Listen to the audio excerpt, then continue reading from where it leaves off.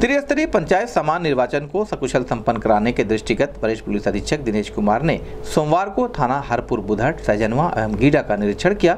इस दौरान एसएसपी ने थाने के आगंतुक रजिस्टर, महिला हेल्प डेस्क, शास्त्रागार, रजिस्टरों के रख रखाव सहित अन्य व्यवस्थाओं का जायजा लिया।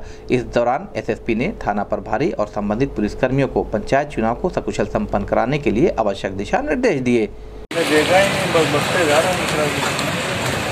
ही नहीं हूँ तो सर तो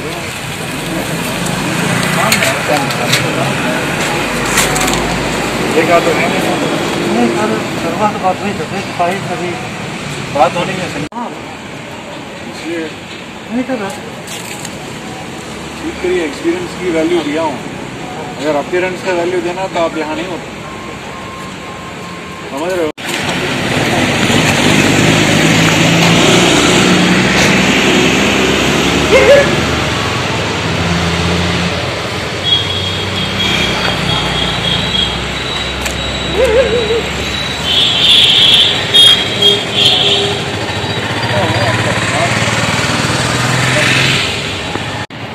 असले की खासियत पता है तुझे बार बार फंसता है ये मैं बता रहा हूँ। हमारी ट्रेनिंग